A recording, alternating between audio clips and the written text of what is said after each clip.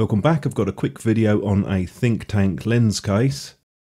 I'm still waiting for review items to come in, I'm just working through some products that I've bought myself. This is the Lens Changer 35 version 3.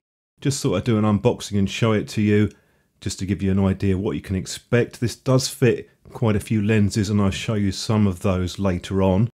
I've put the quoted figures from Think Tank on screen on the top of the case you can see you have a loop there which you can carry it with. The back section is padded and it has that velcro attachment and the wraparound effect that they've got uh, around the side so the velcro really does grip around the lens case. There's no way that's going to come off easily, you really do have to pull that. The white plastic part has been on some of the other Think Tank items that I've looked at and that just slots into the belt system it's smooth on one side and it's textured on the other side. You can use this on a normal belt or other attachment. It's just their own system which stops it from sliding around. We have elasticated or stretchy fabric on the front part and that can be quite useful for things like a lens cap. You can just slot it in there and it grips enough so that it's not going to come out by accident. It's also useful for rear lens caps so I assume that's why they have put some stitching down there in the middle. This particular design has a drawstring and that's elasticated and it also has a locking mechanism on there. They do say it can be operated one-handed and it can, sort of, but um, obviously if you need to pull it really tight you'll have to use two hands to do that.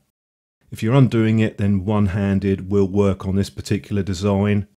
If you look at the back of the lens case you can see there is a pocket here and that does have a velcro closing. In that there is an additional flap and that is the top cover which gives a bit of protection. It is perforated on the other side and it does have some light padding on that. This is really designed for people that want quick access to a lens rather than something which is zipped at the top and I'll show you some different examples later on. It is fully lined on the inside. It's got slim but dense padding all the way around the case and that includes on the bottom section too. I think there's enough protection here to stop any damage on a lens or a knocks and bumps. This Velcro compartment at the bottom is the built-in rain cover and that is sewn into the lens case itself so you can't fully take that out, you just push it back in when you don't want it. As you would expect this does have taped seams and it has a waterproof coating on the underside. So you can just pull that out and flip it over the lens case and that wraps around the whole of the body. There's only a small bit at the back there which is not covered. Of course you couldn't cover that if you're attaching it to a belt or a bag. I'll give you a few examples of lenses now. I'll start off with a Tokina 70 to 200 mm f4 and it's pretty much a perfect fit for that particular lens. Many of the cases for the 70 to 200 mm can be too long. Uh, that's why I was looking at this particular case design concept of this holder is to have quick access rather than to have like huge padding all the way around. Nothing to stop you putting it in the other way around, you might find that a bit easier. I've put a few 70 to 200 millimeter lenses, the sizes on screen from different makers. Just to give you an idea, do remember to allow for the hood and the front and rear caps and if you have a filter attached. Next up, we're going on to the 24 to 70 Tokina again. I have put the size on screen for you and I have measured out the size with the hood attached and it does fit into this case without a problem. You'll find that most of those types of lenses are quite similar in size. This one is about as wide as you'd want to go with that lens case. And it also fits the Sigma 105mm macro. I don't often use the hood with this lens, but I've put it on just to show you because that is one of the lenses that they do list out.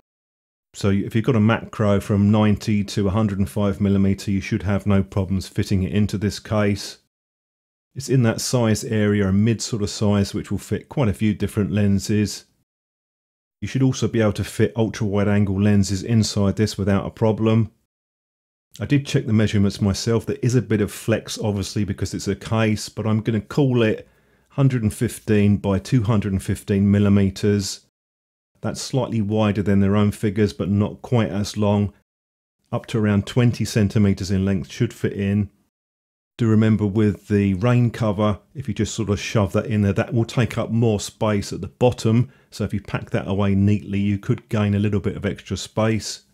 If you need a larger one, the next one up is the 75 pop down. Think Tank do have a chart, so I'll just put that on screen for you. That should give you an idea of which ones will fit different lenses. I'm trying to sort of consolidate my lens cases a bit. I have quite a few different ones.